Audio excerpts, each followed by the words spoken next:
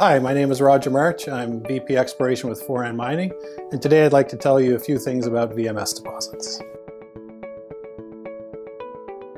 VMS, to start with, stands for volcanogenic massive sulfide. Uh, so these are volcanically derived metal deposits that are hosted in volcanic rocks. VMS deposits, they form, uh, they form today, they formed over millions of years. You've probably seen pictures of black smokers, uh, things on the internet with black plumes of smoke coming out in the seafloor. So these uh, are uh, metal-rich fluids uh, they're hot fluids that rise up, and as they get close to the seawater, they interact with the seawater and cool. And as the, as the fluids cool, they deposit metals. And so that produces these sulfide-rich mounds on the seafloor. You can end up with multiple deposits being formed as fluids come up in different spots. So that's a common um, common characteristic of VMS deposits is this clustering effect where you can get multiple deposits that are in pretty close proximity to each other. And that's one of the things that helps uh, VMS deposits build mining camps.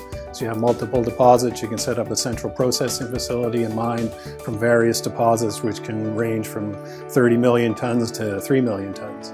Also, because those, uh, those hot fluids contain uh, many different metals. You end up with uh, copper, zinc, uh, silver, gold, lead, all mixed in these uh, sulfide piles. So the deposits have the advantage of um, multiple commodities, which allows you to take advantage of differences in metal prices. So in years when the zinc is high, you can focus on your zinc resources. When copper is high, you can focus on the copper resources. So it gives you a lot of flexibility, and that's what makes uh, you know, VMS deposits attractive for major mining companies. McIlvenna Bay is located in the Flin Flon Greenstone Belt.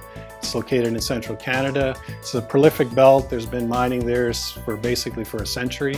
Uh, there's been over 170 million tons of production from 29 past and present producing mines. So we're in a great place, great place to explore. McIlvenna Bay itself is uh, now has a resource of just over 34 million tons. So th there's a few points on uh, VMS deposits. Hopefully you're as interested in them as I am. And hopefully you follow what we're doing here at Foran as we continue to advance McIlvenna Bay to production.